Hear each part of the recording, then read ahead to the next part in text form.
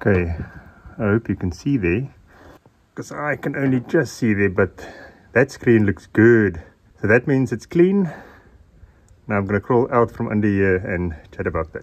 So I recently bought this uh, Toyota Fortuner 2007 D4D.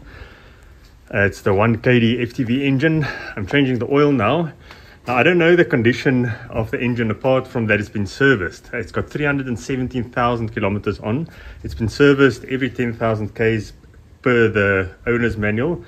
Um, I bought this from We Buy Cars in an online auction. I'll make a video on that and I'll link it here somewhere, the whole story. Um, but anyways, I took a chance and it seems like I made a good buy.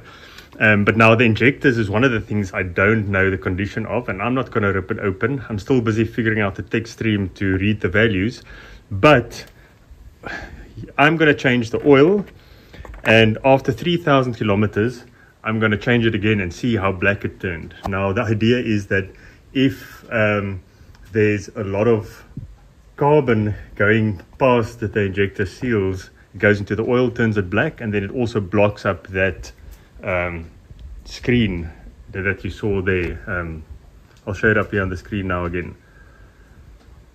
that oil was dripping on me, that's why I had to stop. But anyways, it looks clean, so that's a good sign. This is after about 7,000 kilometers on um, this oil change, the previous oil change, which I didn't do. So now I'm going to change the filter. Um, and then I'll show you the oil I'm going to use. I can't get it out, but anyways. I'm going to use this, and the reason why I'm using this, I know people get crazy about oil. Uh, this is made for diesel engines. It's made for to catch the carbon, not to clog up the screen. It's made to clean the engine. It's more than uh, the uh, the grade of oil is more than good enough for for this engine, which is 17 years old, and um, the temperature, I mean, the, the viscosity is fine within the range. So there's nothing wrong with that oil, but it is mineral oil. Um, but uh, I'm to, it was cheaper, so I just bought that.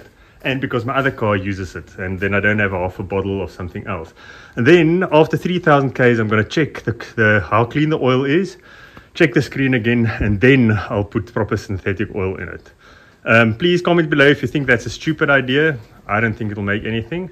Um, but anyways, I just wanted to show that screen there, um, and then I'll make a video on what it looks like after 3,000 kilometers. And the reason why I do it for 3,000 k's is it's 217 now.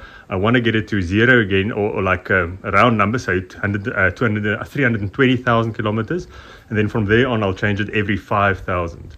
Because I think clean oil is probably the best you can do for this, because uh, you don't want to get the dreaded cracked pistons and all of that crap. So anyways, that's my plan. Let me know if you think it's rubbish.